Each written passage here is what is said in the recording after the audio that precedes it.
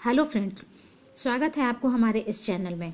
आज मैं आपको सावन शिवरात्रि कब है और सावन की शिवरात्रि का पूजा का शुभ मुहूर्त का समय क्या है और इसका क्या महत्व है सावन शिवरात्रि का, इसके बारे में जानकारी दूँगी। इससे पहले अगर आप मेरे चैनल के लिए नए हैं तो प्लीज़ मेरे इस चैनल को सब्सक्राइब कर लीजिए।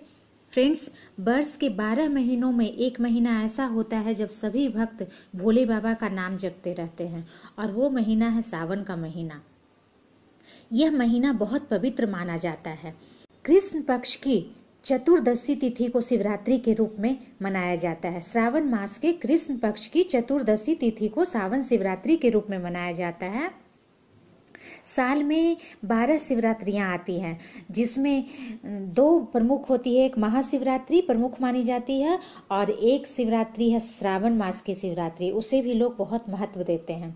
श्रावण शिवरात्रि जो कि श्रावण माह की चतुर्दशी को मनाई जाती है धार्मिक ग्रंथों के अनुसार सावन शिवरात्रि के दिन भगवान शिव जी लिंग रूप में प्रकट हुए थे, इसलिए इसका विशेष महत्व है।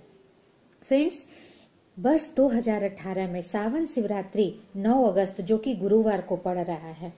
और निश्चित काल में पूजा का सही समय है रात्रि बारह बज के पाँच मिनट से बारह बज के अड़तालीस मिनट तक।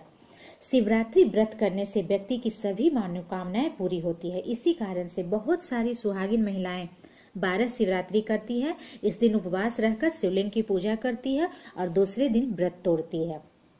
सावन के महीने के दौरान लाखों शिव भक्त शिव दर्शन हेतु मंदिरों की यात्रा करते हैं और शिवलिंग का गंगाजल से अभिषेक करते हैं। तो फ्रेंड्स, गंगाजल से अभिषेक अगर सावन शिवरात्रि के दिन किया जाए तो उसका बहुत ही विशेष महत्व होता है और फल हज़ार गुना बढ़ जाता है। तो मैंने ये आपको सावन शिवरात्रि के महत्व के बारे में बनाया, बताया। और सावन शिवरात्रि कब है, उसके पूजा का शुभ मुहूर्त क्या है, ये जानकारी दी। आशा करती हूँ कि मेरी ये जानकारी आपको पसंद आई होगी। वीडियो को लाइक करें, शेयर करें एंड चैनल को सब्सक्राइब करें। थैंक्स